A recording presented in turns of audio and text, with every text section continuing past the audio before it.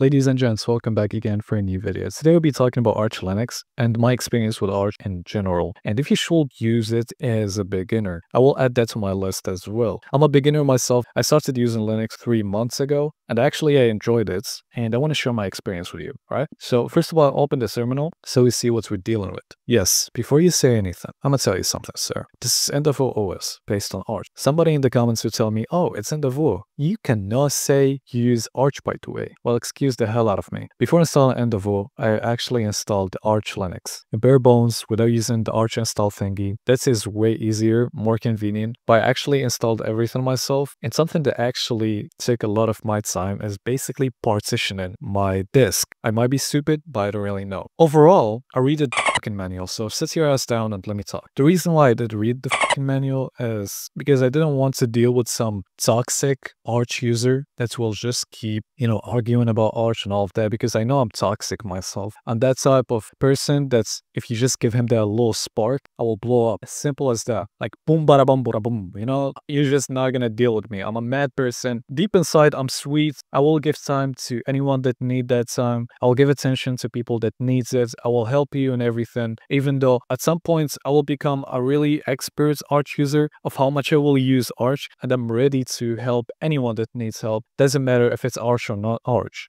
But there is some people out there that will be like a bit more toxic here and really hard to deal with. So you rather actually read the manual than deal with those people. Because in the first place, they will not even help you. And instead, they will just tell you, hey, read the manual and send you a link to actually read that stupid manual in the Arch wiki. The only really complicated parts of Arch is the installation. And that's really it. I'm a beginner. I daily use Arch. This is Arch. You can consider that as Arch. Besides the installation, that's the only different part. But in Endeavour OS is based on Arch, so basically Arch. How many times I said Arch? It's Arch. Simple as that. Me as a beginner, I'm using it, you can use it too. So don't stop yourself from just using something you're interested in. When I first learned about Linux in general, Arch really got my attention, mainly because of how people tinker with it, how people customize it and make it look the way they want it to. And that's something I wanted a long time ago and they didn't have with Windows because, you know, the lack of options and this whole Windows bullshit that they really hate at this point. So such a thing was like a really cool idea and they actually installed Arch and then switched to Cachy, then to Endeavour. It was like really a big mess. Basically distro hopping until I discovered that, you know what,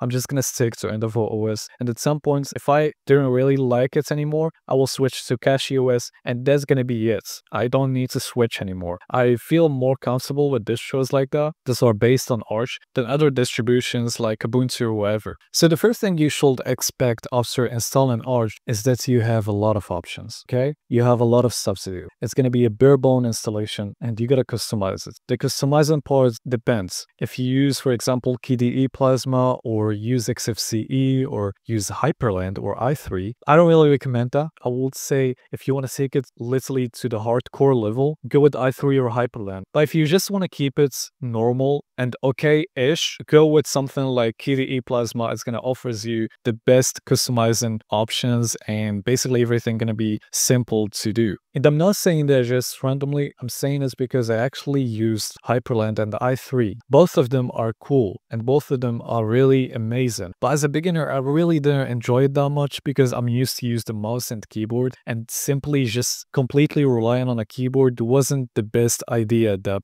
And they decided to get back to KDE Plasma or XFCE. So that depends on you. If you're going to use any desktop environments, make sure you make your researches before doing anything and see if it's actually going to fit with your personality. Talking about the personality, Linux kind of gets you out of the comfort zone. You might be like, why? It's just a distribution. Well, it's not only a distribution. It's a whole different personality for yourself. You gotta have to start dealing with problems sometimes. You gotta like find solutions for some things. You gotta do everything yourself, something that you're not used to with Windows. So keep that in mind. Because me, when I first discovered Linux and I started using Linux and all of that, it was really complicated. One thing to say don't really regret is actually switching to Linux. Why? Because it's basically created a new, different personality from me. I got out of that comfort zone. And if I just kept using Windows at that point. I wasn't gonna learn none of those stuff I know now. And I'm really proud of myself, actually. I'm gonna be honest. All of those things I learned didn't just happen out of nowhere. I learned everything myself. Even though I'm still a beginner and I'm still learning and I'm happy to learn, the fact that I'm learning something, it just changes my mood and makes me really proud of myself instead of being a silly ass dummy bitch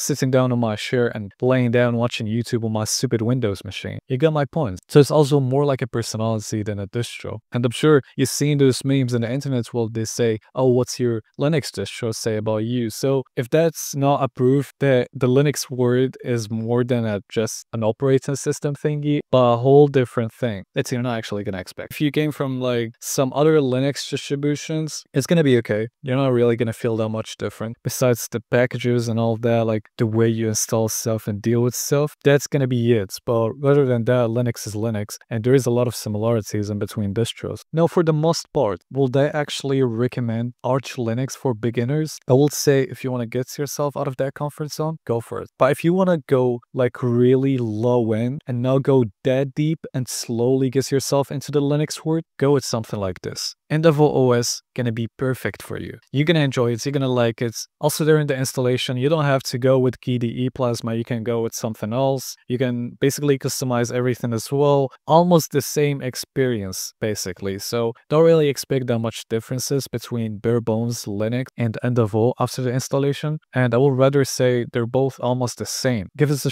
I don't really have that much things to say or to share with you guys because I'm a beginner myself, but I'm still trying to share the beginner experience while I'm learning about Arch Linux and all of that. So you get the point. And yeah, that's pretty much it. If you guys liked the video, don't forget to leave a like and subscribe. Leave a comment. Let me know how was your experience with Arch once you installed this for the first time. See you in the next one.